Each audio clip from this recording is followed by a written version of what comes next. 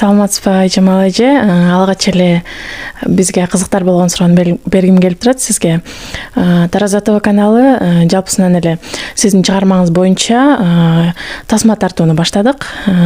Анын болсо аталышы сыр боюнча калсын чыгарманын ошо мазмуну жөнүндө эмне тууралуу ушул туурасында кененирээк бизге айта кетсеңиз. Макул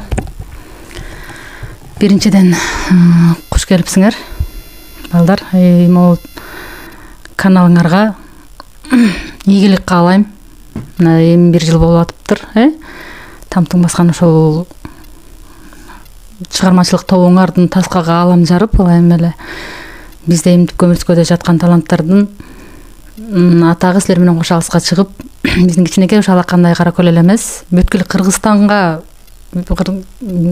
белгилүү телеканал болушуңарга тилектешмин чыгармам жөнүндө айта кетсем ал жерде азыркы эң чоң көйгөй кыргызстандагы эң чоң көйгөй мигрант кыздын тагдыры тартылган мигранттар тууралуу бар ал жерде. Дагы бир орчундуу проблемалардын бирөөсү. Жанагы кайсыл ишканада болбосун кайсыл чөйрөдө болбосун бизде кыргызда эле эмес бүткүл эле адам затында көрө албастык бар эмеспи буттозулар мафия ошол камтылган. А эң негизги мазмуну ал жерде эки жаштын сүйүүсү жөнүндө. Негизги ошо мазмуну сүйүү жөнүндө. Сүйүүдөгү түшүнбөстүктөр сыноолор ар кандай туш болгон. Ал жерде ошол мигрант кыз жигитинин ага кылып жаткан жакшылыгын туура эмес түшүнүп алып ал жерде түшүнбөстүктөн бул жерде ал кызга карап жасаган бир кандай десем кызга байкатпай ошо кылып аткан жакшылыгын ал туура эмес түшүнүп алып туруп бул жерде сыноо деп да коебуз башына келген баягы италияга кетип калып алыскы өлкөгө иштеп иштеп аткан жанагындай сонун ишин таштап кетип калып анан кайра ал жактан да канча сыноолордон өтүп италиянын тарыхы менен таанышып тарыхый жерлери менен таанышып кайра эле ал жактан ошол баягы ак илет бирок сынбайт деп коет эмеспи? Жанагы ишине кайра кайтып келип акырында мекенине апасына жалгыз инисине кайтып келип сүйүүсүн кайра башынан кайтарып ал жактан. Анан ал чыгарма акырында ошо жакшылык менен ийгилик менен бүтөт эки жаштын үйлөнүүсү менен сонун эмелер менен. Жалпысынан ошо чоң рахмат. Негизинен көпчүлүк жазуучулар акындар көпчүлүк учурда өзүнүн турмушунан алып жазышат э. Анан азыркы айтып өткөн чыгармаңыз тууралуу сурагым келип турат. Бул чыгарманын сиздин жашооңузга тиешеси барбы же болбосо бар боло турган болсо канчалык деңгээлде бар. Сонун суроо сонун суроо болду. Ушул жөнүндө ошол жүрөк өйгөн баягы китепти азыр окугандар аз эмеспи бүт жашмын дебей улуумун дебей баарыбыз эле жаштарды эле жалгыз күнөөлөй албайм. Даже улуумун баш оту менен телефонго кирип кеттик. Интернет азгырк анан ошо менен китеп окугандар аз жок деп айта албайм бар бирок аз. Ошондуктан э, ал жерде баягы окугандарды баягы китептен мындай да бирдекени пост пост десек азыр элдин баарына жеткиликтүү. Пост чыгарсаң ал элдин баары түшүнөт окуйт эмеспи а китепте көпчүлүктөр окубаганга баягы азчылык окуп демек бул жерде өзүнүн тагдыры деп ойлоп калышы мүмкүн. Тааныбаган окурмандар. А өзүңдүн чөйрөң коллектив э, туугандар түшүнөт ал жерде сага таптакыр тиешеси жок экенин. Тиешеси ал жерден мигрантмын мен дагы азыр ушул учурда баягы мугалимдердин айлыгы аз дей албайм азыр бир аз болсо да көтөрүлдү бирок баары бир баягы жетпеген турмуш болуп айлыктын аздыгынан баягы мигрант болуп калбадыкпы көпчүлүгү эле кыргызстандын жашоонун немеси бул дагы бир мыйзамы. Мигранттыгынан бир аз тиешеси бар ооба. А бирок кыздын тагдыры кыздын ата энеси ал жерде таптакыр бөлөк кыз бөлөк кыздын тагдыры ошол жерде мигранттан гана бир аз баягы чагылдырылып кетпесе менин жашоомдон а так сүйүүсү жашоосу ал жерде мага тиешеси жок ошондой. А кээ бир ырларымды деле окуп алып кээ бир окурмандар ошо өзүнүн жашоосунан алды жок. Ал жерде өзүмдүн жашоомо жазылган ырлар да бар. Мен аны окуп берем азыр бир э, учур келсе. Бирок көбүнчө ал жерде баягы тем более мигрант адам ар кандай адамдар менен жолугасың ар кандай адамдар менен иштешесиң аэропортто иштеген жерде чет өлкөдө болбосун ар кандай ар кандай типтеги адамдар менен жолугуп жүрүп ар кандай тагдырларга туш болосуң ар кандай тагдырлар чагылдырылган ал жерде. Менин жашоомо тиешеси бар ырларым да бар жок эмес бирок көбүнчөсү баягы жүрөгүңө конуп калган ачуу тагдырлар кубанычтуу тагдырлардан жазылган ырларым бар. Өкүнүчтүүсү ошо кээ бир жеринде мен өз көзүм менен жазып туруп көрүп туруп жазган сириялык жетим кыз деген чыгармам бар эле ырым. Мен ошону бир сириялык жетим кыздын белчесинен жанагы мусор мусорный бочкага көчөдөгү урнага. Жарымынан түшүп алып туруп анан кийин желим бөтөлкөнү алып апасына берип ушундай ал күнү мен действительно ыйлагам балдар ыйлагам. Ошону чагылдырып үйгө жетип эле жазып чыгаргам ошону китепке кирбей калыптыр кандайдыр бир. Менимче өзүм жөнөтпөй койдумбу. Азыр ошону байкадым да баягы китебимди толук ачып көрө элекмин кол бошобой чыккандан бери чыккан аз эле болду саясат кургай элек.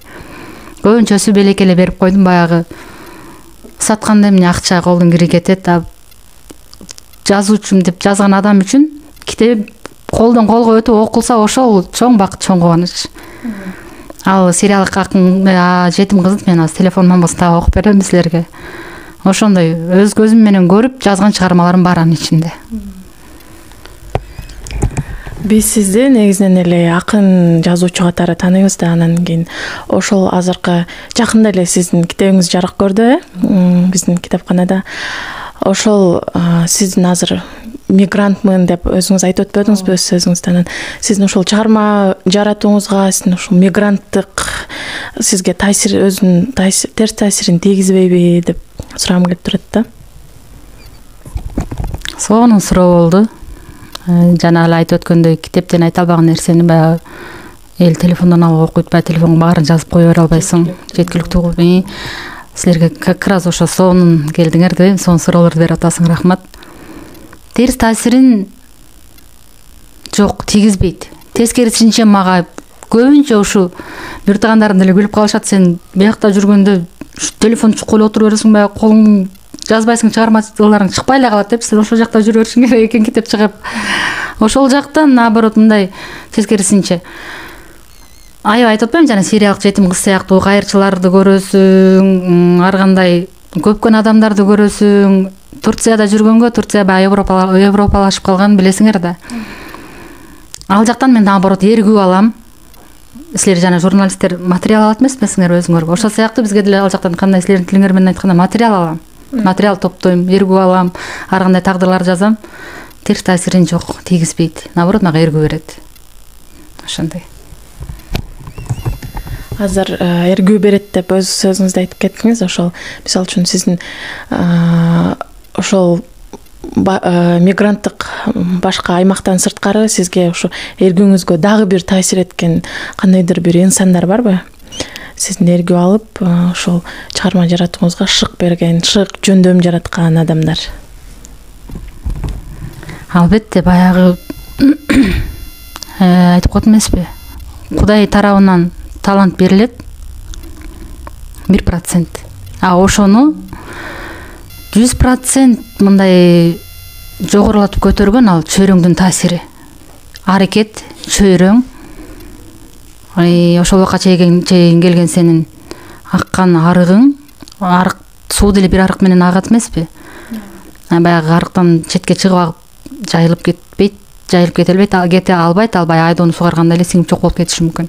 Аккан арыктан суу агат деген кыргыздын макалындай эле менин чоң энем чоң энем жамакчы болгон. Сексен канча жашка чыгып каза болду ал киши.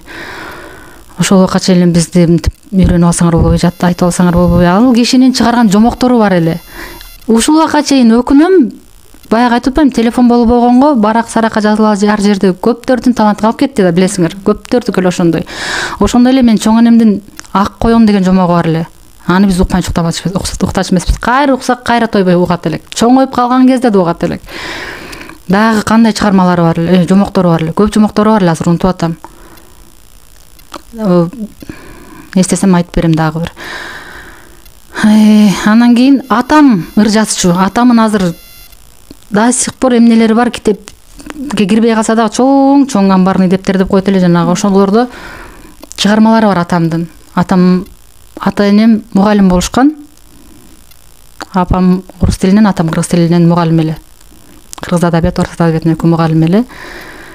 Муну мен эмнени айткым келет ошо ата энемдин таасири чоң энемдин таасири чоң ата чоң энем атамдын эле таасири ой ата энем чоң энемдин эле таасири эмес мага э, бул жерде мүсүралиев байыш агайыбызды тааныйсыңар сен как раз коллегаң. Ошол агайдын дагы мага чоңдон чоң таасири бар. Класста отурганда эсимде ошо класста сабак бүткөндөн кийин бизде ошо салт болчу агайдын салты.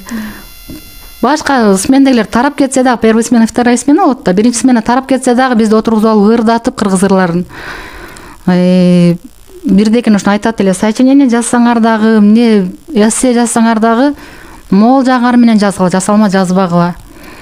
Агайдын таасири абдан чоң мага. Баягы эмне деп коет пешене деп коет пешенеме сүйүнөм аллага чексиз шүгүр. Ата энемдин таасири чоң энемдин бир туугандарымдын таасири бир туугандарымдан дагы таланттуу адамдар көп ыр жазгандар бар. Баягы мендей болуп китеп чыгарышпаса дагы чыгынышпай ошо барактагы алып мынтип жүрүшөт көпчүлүк ыр жазат. Биз э, группа бар да эми баардыгы эле азыр группа бар эмес бир туугандарда деле жамакташып айтыша кетип эле ушундай бир туугандар дагы. Анан кыскасы менин чөйрөмө аллах таалама чексиз шүгүр бир туугандарым ата энем агайым кайра. Эсимде агайыма бир сочинение жазып байыш агай сочинение жаздырып анан мен жетинчи бала кезимен эле жазам да. Баягы барак саракта калып жок болду төрт сап ыр кошуп койсом байыш агайдын до сих пор көз алдыма келет. Кызым муну бир жактан алып алган жоксуң бул уят болуп калбайлы. Мен муну сактап окуйм жанагындай чогулуштарды неметем уят болуп калбайлы. Кызым бир жактан алган жоксуңбу деп ушинтип ишенбей койгон да. Анан жок агай өзүм чыгарым десем азамат аябай таасирленген. Баягы бирөө колдоп коштоп мактап турса анан кийин көтөрүлөт бир адам деле. Жана эле бир адабий ийримден кийин кайра өзүбүзчө чай ичтик жазуучулар эмнелер ыр жазган акындар эмнелер чогулуп отуруп анан ошондо бир эже айтып атпайбы? Кичинекей биринчи бир китеби чыгып анан кийин ушуну алып келип окуйм азыр сенин тоюңда деген бирөөсү немесе бизди уят кылбачы деп урушуп коюп жанагы сен айтып бергендей бир окуя. Мен ошого сынган эмесмин дейт да. Бир да көтөрүш керек бул жердечи бир айланан колдобосо көтөрүлүп чыгыш кыйын. Өзү менен өзүң көтөрүлбөйт эч бир адам. Ал эже айтат ошондо уялганыма карабай неметкениме карабай бул менин биринчи балам деп барып алып туруп болбой окугам дейт да. Анан ошондон улам кайра баягы ии дешип анан кийин кайра мынтип көтөрүлүп чыгыптыр ал эженин бул жерде күчтүүлүгү.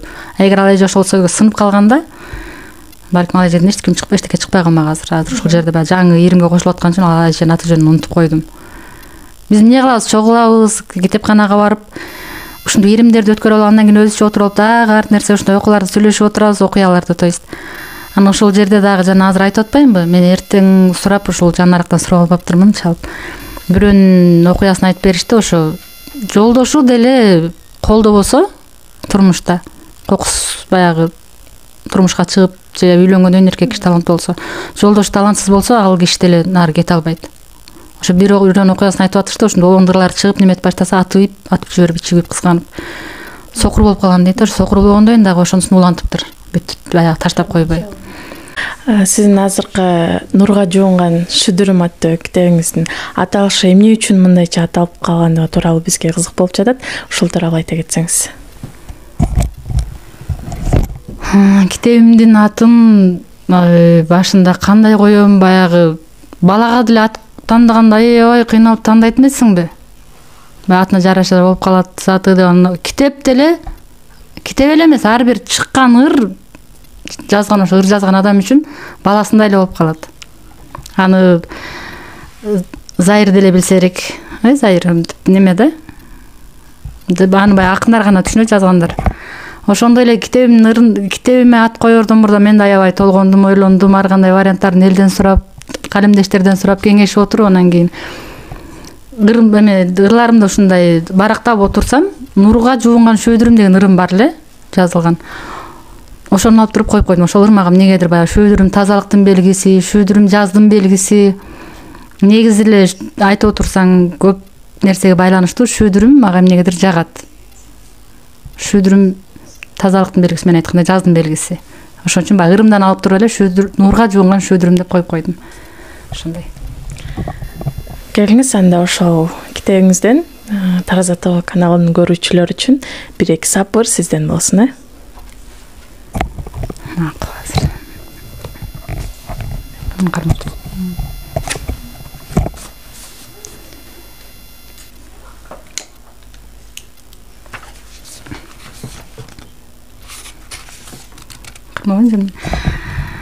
Эс алсын канаттарым чечейинчи